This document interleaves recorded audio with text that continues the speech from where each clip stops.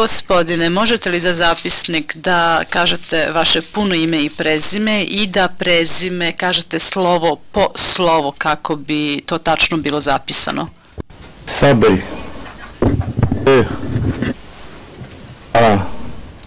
L. I. L. I. Da li ste vi dok je trajao rat živjeli sa svojom suprugom u Sarajevu? Jesam. Da li je iko drugi živeo sa vama i vašom suprugom dok je trajao rat u Bosni? Živjela punica moja do 93. 27. juna. Kako se zvala vaša punica? Almasa. A kako se prezivala? Punj Hođić. Gospodine, možete li opisati šta se desilo 27. juna 1993. godine? Između pola 9 i 9 sati ujutro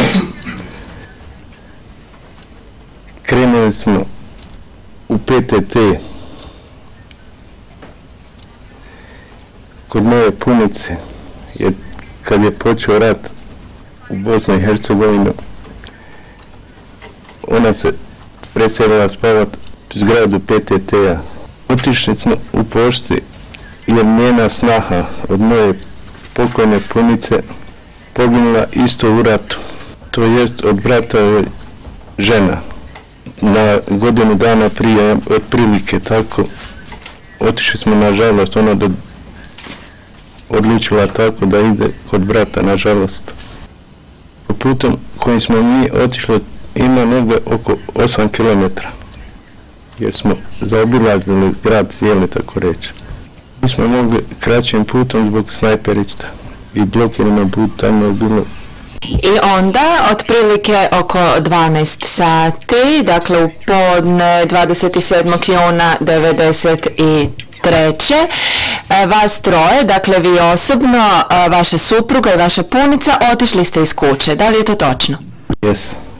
Kad smo krenuli iz njenog, od kuće njenog brata, i stigli smo do blize kasarne maršalke. Tu je ispaljen jedan hitac u zraku i u mene punica prepala se. Izgubila ravno težu. Ispala je jedna cipela s desne, sa desne noge. Ja sam joj rekao da se ne, ne boje jer to metak u visinu nije prema nas upiran, ispaljen. Međutim, post, kad se ona, ja sam joj pomogao da se digne i stavila cipele u nogu, krenuli smo. Od prilike 10 metra nismo hodali, ispaljen drugi metak i taj drugi metak kobni koji je bio pogod jednu. E, možete li reći e, kamo ju je e, pogodio taj metak? U jetru, tako, mi re, tako su mi rekli doktori. Pre, presijeku glavnu arteriju. U tom moment nisam vidio, samo sam okrenuo leđa, vidio sam lokve kao ispod nje. Bili su kontenjeri postavljeni od zaštite iz grada. S jedne strane bilo je ono kasana maršalka, maršala Tita, a s druge strane bili su zgrade normalno. Stavili smo gdje, su, gdje je strelica i za strelicu na ono tri križa. Ti kvadrati su kontenjeri, a gdje piše prikolica, tu je udiknuta bila prikolica, jedno metar, možda otprilike metar i dvajest tu negdje, od zemlje. Broj jedan krug, znači tu je bila moja pokojna punica stajala. Broj dva, ja, ja sam tu bio, a broj tri, moja supruga. Kad je ispalan prvi metak, ona je dotrčala prije nas i prešla preko i čekala nas na semaforu gdje je ona označena na broj 3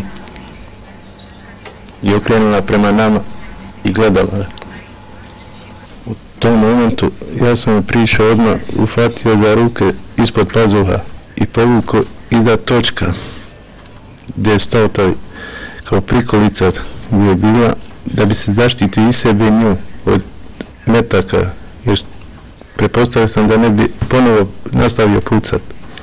Koliko ste vi dugo otprilike ostali iza točka prikolice? Par sekundi je u tom momentu naiše jedan bijeli golf i kad je vidio da je pogođena žena ubacili smo moju pokojnu punicu u auto u tom golfu i odvezili smo u bolnicu. Do duše ja sam ostao tu iza njih sam ja naišao drugi golf i prebacio imene u bolnicu.